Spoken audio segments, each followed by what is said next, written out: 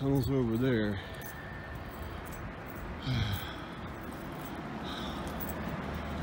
just hiked about half a mile, which is no way to get back here driving.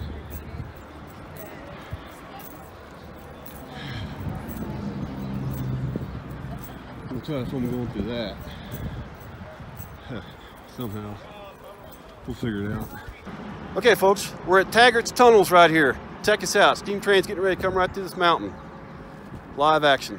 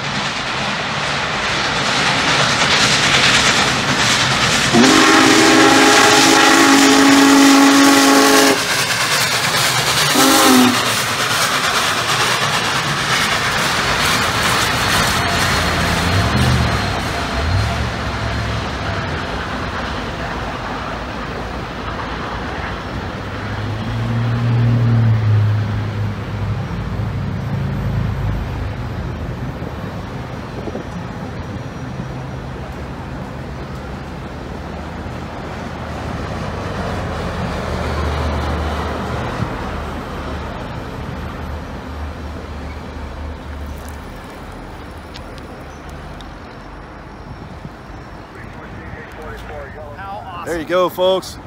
It's the last time we'll see it until we get to Evanston, Wyoming. So it's going to be a while before we get out of here. We're totally landlocked, or whatever you call it. We're stuck here. A little hike to the car about third of a mile, and then we'll just sit there for a while. Here we go. More live action.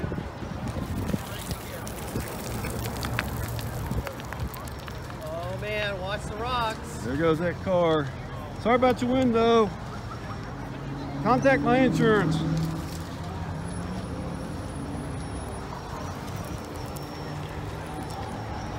No, we haven't got their window yet.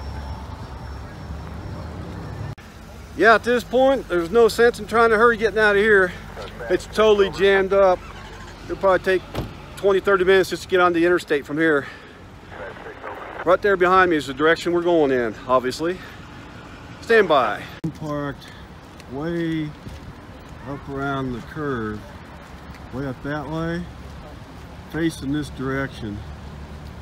So, I don't know, it's gonna be a while before we get out of here.